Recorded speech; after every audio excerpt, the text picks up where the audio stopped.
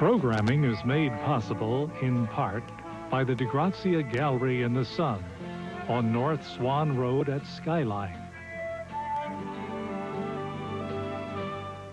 Local support for this program comes from Tucson Electric Power Company in cooperation with Tucson's Wildlife Rehabilitation Council.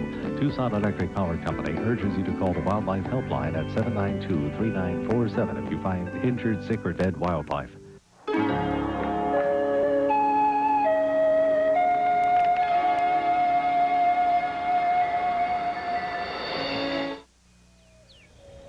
When it comes to home building, human innovation is just another piece in the puzzle of survival.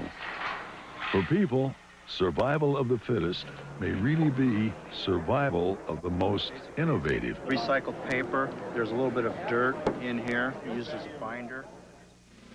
Funding for The Desert Speaks has been provided by ASARCO Incorporated, celebrating a century of accomplishment as an international producer of copper. ASARCO, producing the metals we all need, respecting the environment we all value. By the Arizona Game and Fish Department and Heritage Fund, managing Arizona's fish and wildlife resources as an enduring public trust, managing today for wildlife tomorrow and for generations yet to come and by the Desert Program Partners and Arizona State Parks.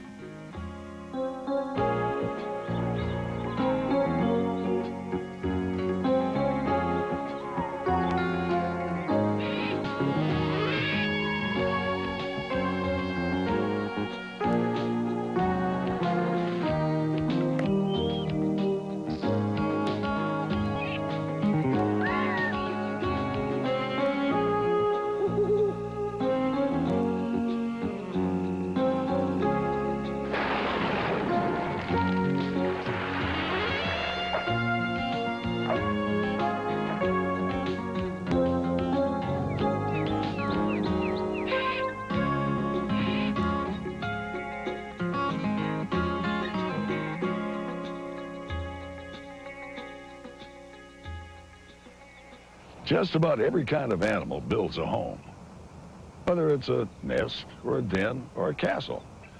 Every critter needs a place where they feel protected.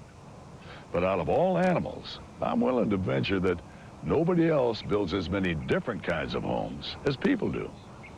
Probably because people inhabit just about every place on Earth. To do that, we have to be very adaptable, especially when it comes to creating the spaces we live in. Being innovative is really just a fancy kind of adaptability when it comes to home building.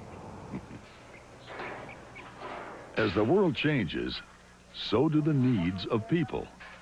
And this is where adaptability comes in handy.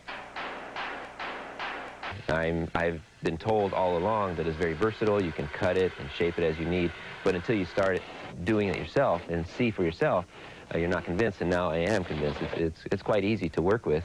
And uh, I was surprised that uh, you used pretty much the same tools as a mason would use. A plumb, a string, and those kinds of things, a, a, a chainsaw.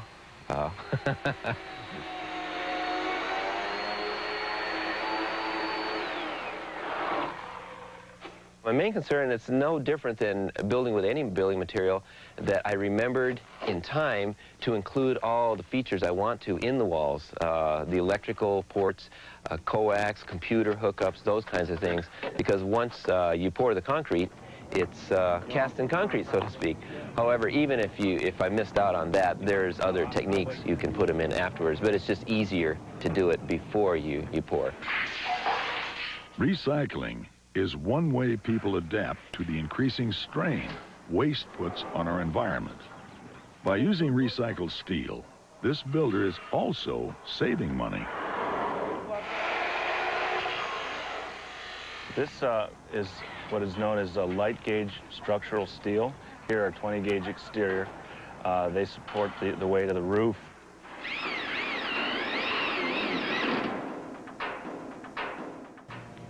Typical Phoenix area concrete floor is about four inches thick. Ours is six inches, and we have ceramic tile on the surface.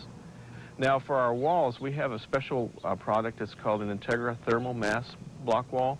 It's basically an H-shaped block, but the interior part of the block is thicker than the exterior. The thick interior portion stores heat. All the insulation in the thermal mass wall is sprayed in. It has a very tight seal. There's no gain of heat for, through infiltration in this house. In the hot, arid areas like Phoenix and Tucson, you want to keep your structure in general from getting too